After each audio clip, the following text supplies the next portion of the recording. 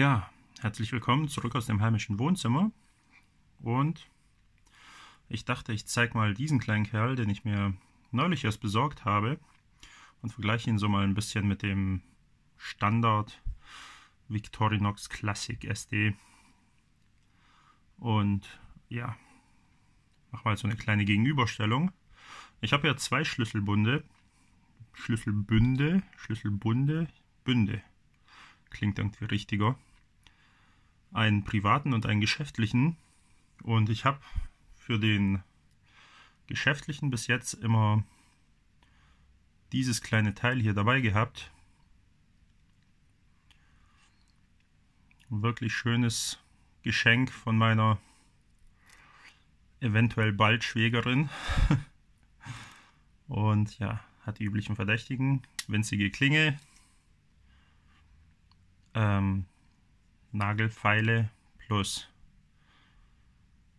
Schlitzschraubenzieher, habe ich ja schon mal vorgestellt, und kleine, aber sehr taugliche Schere. Und natürlich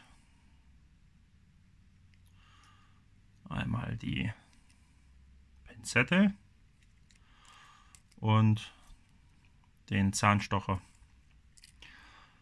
Das habe ich bis jetzt immer im Geschäft gehabt, aber weil ich ja mittlerweile so Einklingen, Slipjoint-Taschenmesser, Herrenmesser ähm, mit mir mitführe und nicht mehr allzu oft komplette Victorinox äh, Multitools, nenne ich es mal, ähm, habe ich privat einfach die, die Schere und Zahnstocher und Pinzette doch etwas vermisst und habe mich entschlossen, ich tue das wieder zurück vom Geschäftsschlüsselbund an den privaten Schlüsselbund, damit ich, wenn ich nur mit einer Klinge unterwegs bin, trotzdem noch die Schere dabei habe und äh, ja, Nagelfeile und eben die zwei.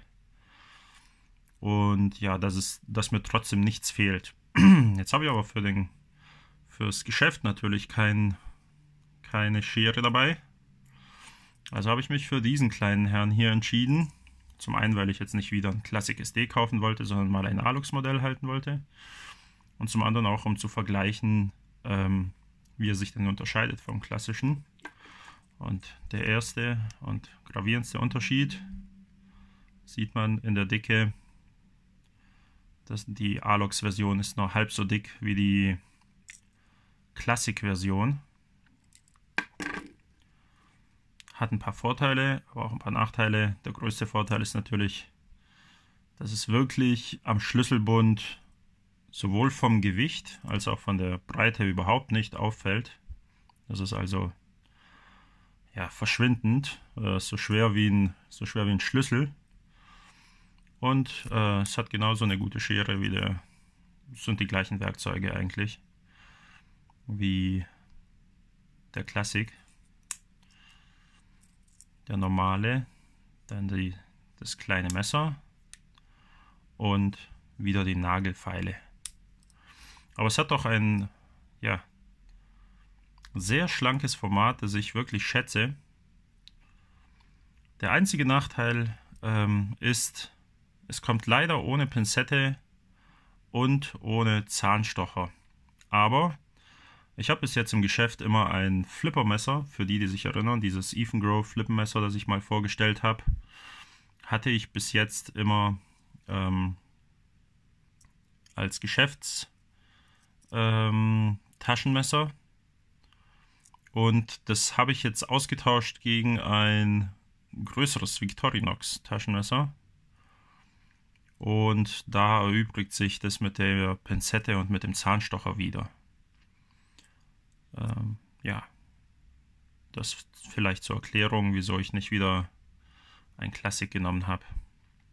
Dieses Teil ist wunderschön, fühlt sich, Alox fühlt sich einfach wunderbar an in der Hand, muss ich sagen.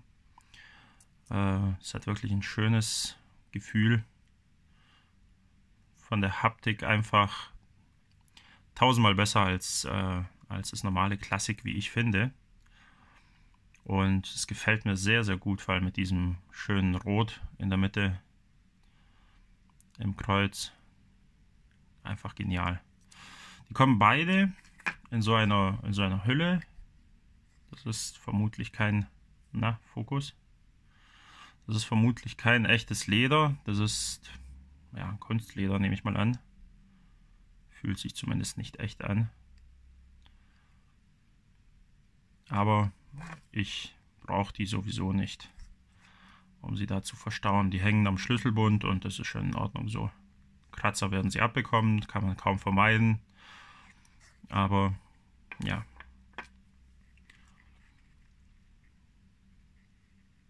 So, ich glaube, das war es heute schon. Äh, es war ein ziemlich schneller Durchgang für mich. Normalerweise schaffe ich es nicht unter 10 Minuten, aber es war nur eine, ein ganz kurzes, eine ganz kurze Gegenüberstellung.